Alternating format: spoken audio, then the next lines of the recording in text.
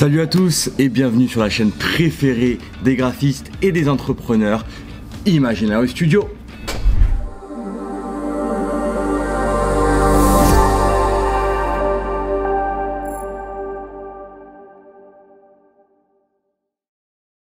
Je tenais vraiment à vous remercier pour votre grande participation pour la vidéo précédente sur le petit duel du meilleur graphiste entre moi et Lucille.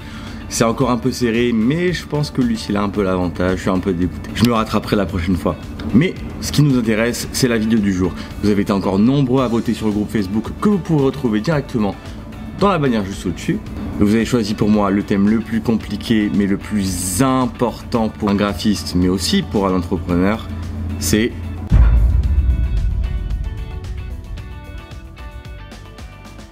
Et oui, c'est détourer une image en une minute. Alors oui, c'est possible, je vais vous montrer plusieurs astuces. On se retrouve directement sur mon ordi.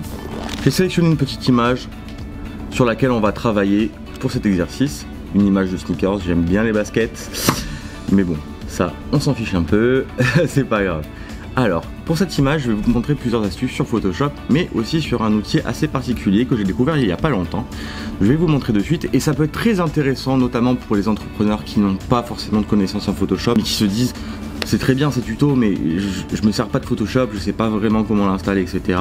Pas de souci, j'ai trouvé une solution pour vous. Cette solution, c'est remove.background, donc remove.bg. Supprimer le fond d'une image. En fait, c'est tout simplement sorte de Photoshop automatique pour détourer une image en quelques secondes. Vous allez voir, c'est assez incroyable. Alors vous allez télécharger une image et vous allez sélectionner donc l'image de ces petites sneakers ou votre image que vous voulez détourer. Vous attendez un petit peu et tada, c'est assez fou. L'image est directement détourée en vraiment bonne qualité. Vous avez plus qu'à la télécharger et voilà, votre image est détourée. Et là, pour le coup, c'est moins d'une minute, c'est 10 secondes. Pour vérifier, c'est très simple. J'ai juste à glisser l'image que j'ai téléchargée dans Photoshop, comme ceci. Donc vous voyez bien qu'elle est transparente, on voit bien les petits carrés derrière qui montrent que c'est transparent. Et nous allons sélectionner le background, faire CTRL I pour le passer en noir et voir les détails du détourage. Et franchement, on voit que ça fait vraiment bien le boulot. Donc c'est vraiment une technique qui je pense a ses limites pour un détourage un peu plus complexe, mais qui fait vraiment la différence sur des objets à détourer rapidement. Maintenant qu'on a vu cette technique, on va passer sur les outils de détourage Photoshop. Alors il en existe plusieurs, je vais vous les passer en revue. Le premier et pas des moindres, c'est l'outil plume, celui-ci que vous voyez sélectionné ici.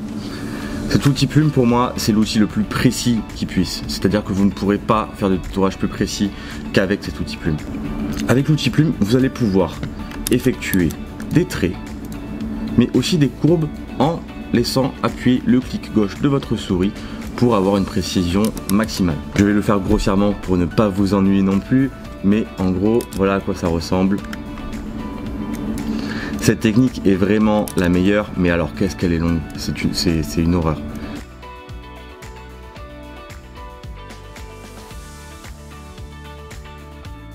Une fois que vous avez fini de détourer votre image avec l'outil plume et que cela vous convient un minimum, vous faites clic droit sur la souris et définir une sélection avec en général zéro de rayon de contour progressif à part si c'est des cheveux mais ça on le verra dans une vidéo un peu plus poussée. Vous appuyez sur OK et voilà votre sélection est effectuée.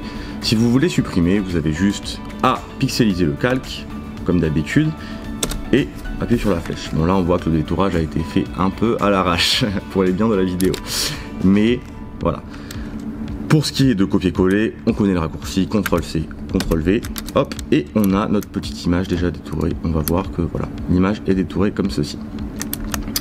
N'oubliez pas, si vous voulez enregistrer votre image en PNG, il faut bien enlever ici, enlever l'œil du background pour avoir ce fond transparent qui va vraiment vous dire c'est bon, vous pouvez l'enregistrer en PNG et du coup l'exporter en transparence.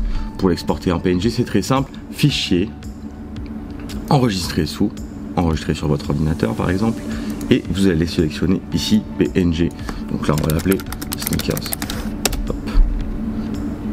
Et voilà, notre image est enregistrée en PNG. Voilà pour ce premier outil fort sympathique, ou du moins le plus complet. L'outil que tout le monde connaît, qui a fait la force à un moment donné de Photoshop, c'est cet outil baguette magique que vous trouvez ici, ou la touche W. Cet outil baguette magique Il est bien, mais pareil, il a vraiment ses limites. Alors vous pouvez gérer la tolérance. La tolérance, qu'est-ce que c'est? C'est en fait l'outil va décider avec la tolérance de sélectionner plus ou moins de pixels. Donc il faut, vraiment que vous puissiez jouer avec ce curseur pour voir si ça va sélectionner assez de pixels, pas assez, etc. etc. C'est vraiment à vous de juger. Donc là par exemple, je vais vous montrer sur mon image de base. Voilà. C'est pas, pas dingue. Cet outil, il est plutôt utilisé pour les fonds verts, c'est-à-dire que le logiciel va vraiment bien analyser le fond vert depuis votre image en premier plan. Là, les couleurs se mélangent un peu, c'est du clair sur du clair, donc voilà, on voit que le détourage se fait assez mal. Même si on baisse la tolérance, voilà, il reste encore quelques, quelques soucis, même si on voit qu'ici ça détourne pas mal. On peut très bien par contre combiner cet outil avec un autre outil qui va être l'outil lasso polygonal qu'on utilise plus pour voilà, quelque chose de plus anguleux, euh, style une table ou autre chose, qui va vraiment nous faire des traits droits. Alors comment on va du coup fusionner ces deux outils? On a déjà sélectionné du coup cette partie. Donc pour l'outil polygonal, on peut aussi ajouter ou enlever de la sélection. Là, on veut ajouter de la sélection ici, mais attention, ça fait vraiment des angles assez obtus. Il faudra donc y aller avec vraiment avec douceur et, euh, et pas en abuser non plus. Regardez, hop, là j'ai appuyé sur majuscule pour avoir le petit plus à côté de mon outil. J'entre et voilà. Je peux du coup fusionner ces deux, ces deux outils pour avoir un, un rendu optimal. Si vous voulez par contre enlever de la sélection comme ici, vous appuyez sur la touche Alt de votre clavier et vous allez pouvoir, hop, comme ceci, enlever ou vous allez pouvoir rajouter ou enlever, c'est à vous de voir, de la sélection, mais tout. Faut vraiment y aller avec, euh, avec parcimonie. Voilà, donc là j'ai fait un petit, un petit tour de, ces, de ces deux, outils-là. Ensuite, il y a l'outil lasso que je conseille pas, à part vraiment si vous êtes ultra précis et que vous avez par exemple une tablette ou une cintiq et un stylo. Mais sincèrement, c'est voilà, à la souris, euh, c'est un peu, euh, c'est très très galère. C'est un mélange en fait de l'outil polygonal et de la plume. Et c'est pour moi, c'est l'outil que j'utilise le moins. Photoshop nous a aussi créé l'outil lasso magnétique qui peut être aussi utile dans, un, dans, certains cas. L'outil lasso magnétique, ça va reconnaître les bords de votre image. Alors, vous allez voir qu'il a aussi ses limites. Vous voyez, comme ceci, il va pas vraiment tout sélectionner. Il faut vraiment que vous preniez conscience que pour chaque image, vous pouvez utiliser un outil différent. Il faut vraiment essayer de tester tous les outils pour arriver à se dire à un moment donné, cette image, je vais la détourer avec cet outil-là ou avec celui-ci. Pour tout ce qui est rond ou carré, vous avez quelque chose de très simple qui existe aussi, c'est tout simplement mes outils de sélection. Donc on a l'outil rectangle, tout simplement sélectionner un rectangle ou un carré si on appuie sur la touche majuscule enfoncée. Donc ça c'est bien si vous avez une photo à recadrer un peu ou alors juste à sélectionner une partie de l'image comme ceci. Vous allez voir, voilà, ça va sélectionner que le carré.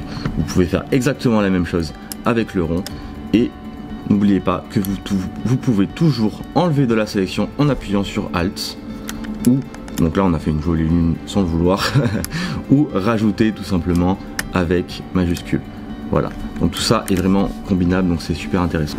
Ensuite, dans la partie des outils magiques, nous avons l'outil de sélection rapide qui est aussi pas mal. Donc pareil, vous choisissez ici la force, donc si vous voulez enlever ou rajouter, gérer l'angle et gérer la taille de votre outil. Vous allez pouvoir venir peindre sur votre image le, le détourage que vous voulez. Donc toujours majuscule pour ajouter ou alors ici tout simplement et après ici ou alt pour enlever. Donc voilà si vous voulez des, trucs un peu plus détaillés on peut y aller comme ça en douceur. Ça marche plutôt bien mais pareil c'est limite pour des choses comme ça. Vous pouvez également utiliser des masques mais ça on le verra dans une prochaine vidéo. C'est un peu plus poussé. Pour du détourage simple on n'en a pas forcément besoin. Pour tout ce qui est cheveux féminins par exemple c'est beaucoup plus compliqué parce qu'on a plein de petites mèches de détails etc on verra l'outil masque dans une future vidéo pour du détourage vraiment vraiment poussé Photoshop nous a mis en ligne il y a, je dirais, deux ans, un ou deux ans de ça. Pour moi, l'outil le plus extraordinaire qui existe, c'est l'outil de sélection d'objets. Cet outil de sélection d'objets, en fait, c'est un peu le même principe que je vous ai montré précédemment sur le site internet Remove Background. C'est-à-dire qu'il va vraiment analyser votre image pour sélectionner que l'objet en premier plan. Donc évidemment, Ça marche pas tous les coups, mais franchement, des fois, ça fait vraiment la différence. Et c'est un gain de temps phénoménal. Je vous montre. Vous en avez juste à sélectionner votre objet comme ceci. Ça va charger un petit peu parce que l'ordinateur va réfléchir et va se dire hmm, où ils sont les petits là, c'est qu'il faut que je les tourne. Et voilà. Donc là, on a quand même la majorité du boulot qui est fait. Il reste quelques. Il reste du coup quelques endroits où le détourage n'a pas été effectué, mais on va pouvoir, comme on l'a vu précédemment, le fusionner avec d'autres outils.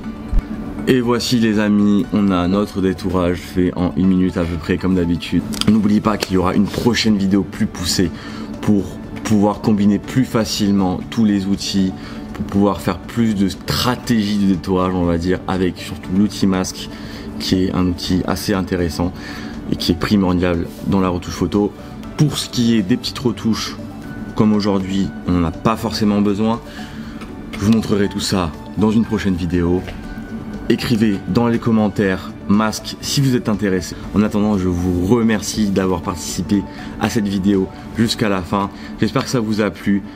N'oubliez pas de vous abonner, c'est très important pour nous, de poser un petit like, d'activer la cloche pour être alerté de chaque nouvelle vidéo qu'on va sortir, d'en parler à vos amis. Merci à tous et à la prochaine.